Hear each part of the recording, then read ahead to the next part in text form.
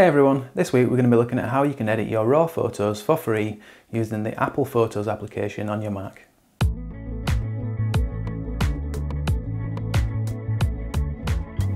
Okay, so the Photos application comes bundled standard with the Mac operating system. And obviously you have to buy a Mac to get that, but essentially once you've got that, the software is free. And I've been using it for a few years now. I mainly use it for just organising photos or creating little slideshows. You can also do things like create projects and prints and things like that. But what I didn't realise until quite recently is that it has some raw editing tools built into it. And the tools are quite hidden, which is probably why I didn't realise they were there. But once you find them, they are fairly powerful and I wondered how they compared to Lightroom. So this video is really just having a look at how you can edit raw photos with those tools built into the Photos app. And it's not really a how-to or a guide because I've not used the software extensively, but it's more of a overview or a first impression if you like. So let's take a look and see how it compares to Lightroom. So once you've opened up the Photos app, you can actually just drag and drop your raw file straight into your library like that. This is the file I'm going to work on. And it was several shots that have been stitched together into one raw file, so that's why we've got this strange, distorted look. Now the first thing to note is that the editing tools within Photos are quite hidden. To get them, you need to either go up to Image and then Show Edit Tools, or you can press Return on your keyboard. And then you get these options down the right hand side here. And along the top here, we've got Crop, so that's the first thing I'm going to do. And this works as you would expect, quite similar to Lightroom. Just drag these edges in here. Bring that edge in a little bit more, I think actually, to about there. And you can rotate this if you want, I don't need to do that. Once you're done, just go back to adjust and then we can start playing around with the exposure and colour and things. So at the top here we've got the light options, much like Lightroom. It does have an auto feature, however I don't find it quite as good as the auto feature in Lightroom. What is good however is you've got this slider here at the top where you see the kind of previews of your image and you can slide that either to the left or to the right and you see how it adjusts all the sliders below all at the same time. And this works a little bit like the dehaze slider I think in Lightroom. So it's not going to give you the perfect solution straight away I don't think, but it does just give you a quick way of setting a good base for your image. Now I'm just going to bring it up slightly to about there. But what I want to do is just bring down those blacks a little bit I'll bring them up in fact because they're just a little bit too washed out. Maybe just bring down the brilliance slightly.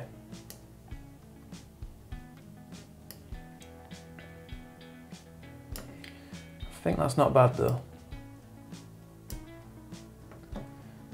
Okay, so next we can have a look at colour.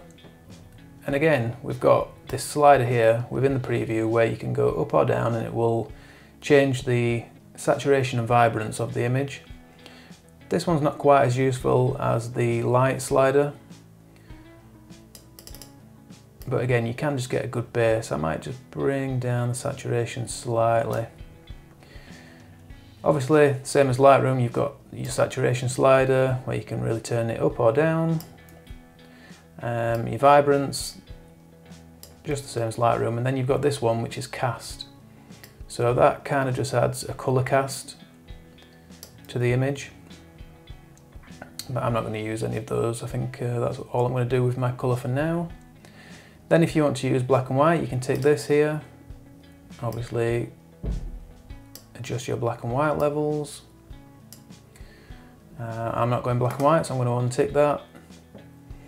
Retouch, we'll come to that later. Now white balance we've got down here. This is usually much higher up in Lightroom, but it works exactly the same way. We can either go cooler or warmer, and you do get some drop downs here which change how these sliders work. So if you go for skin tone, I presume that's optimized for when working with portraits or anything with skin tones basically. And then with the temperature tint one, it's a bit more like Lightroom, so you've got the temperature slider and then also the tint slider underneath. But I quite like just using the neutral grey, which is the default option. And I want this to look, to look quite cool, I want the background to look quite blue. So I'm going to bring that down.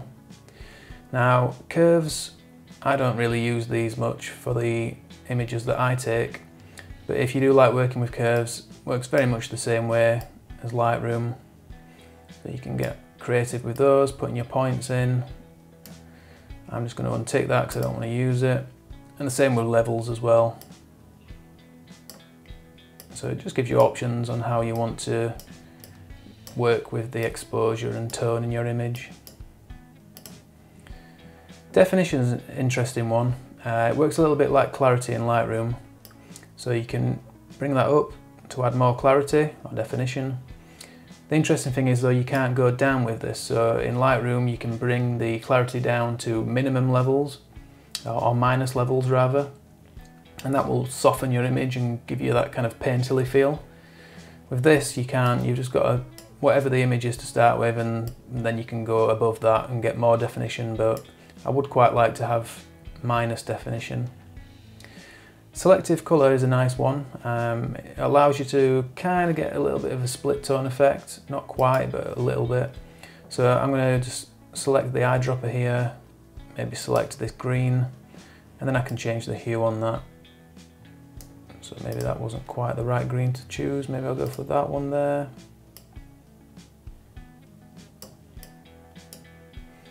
Maybe I'll just bring my um, white balance up slightly. Yeah, that's getting more like I want it. So I want to adjust this to look, I did actually take this in autumn, but it looks quite green when it's natural. Because um, it was quite green, um, I, am not really sure why. The, uh, the leaves did stay quite green that year for some reason, even into November. But um, yeah, if I bring the white balance up to be a little bit warmer with the selective colour edits that I've made, that starts to give me some really nice orange tones in the leaves, so it makes it a little bit more autumny. And we can play with the saturation of that as well. I don't want to go too high, maybe to about there. Luminance, obviously we'll make it lighter or darker. I think it's okay around about there. And then the range is just how much it kind of affects that colour, so I don't want it to affect it quite a bit, so I'm going to bring that up. Noise reduction, this is one of the tools that doesn't really work as well as it does in Lightroom. This image is not too bad for noise, um, but if we zoom in, do see that here on the trunks and branches of the tree we can see some colour noise in there and by default Lightroom will get rid of the colour noise and does a really good job of it.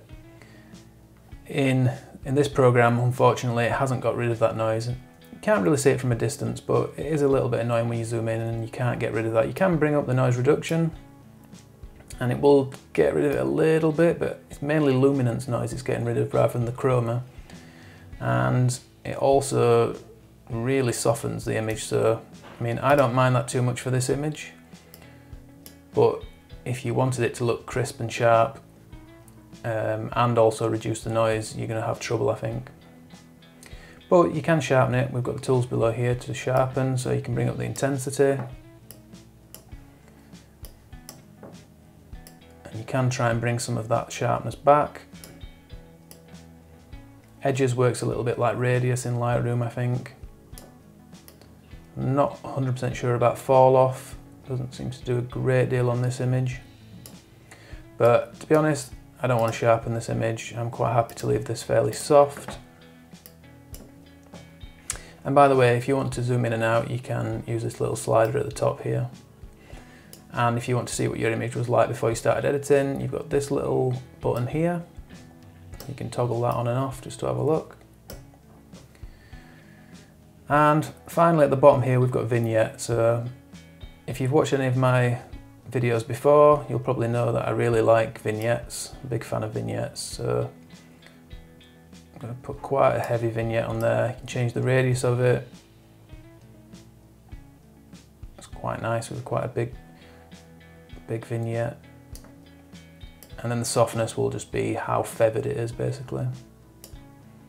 Maybe just turn down the strength a little bit. Okay, and when you're happy with your edits, just go up to the top right and click done. And there we go.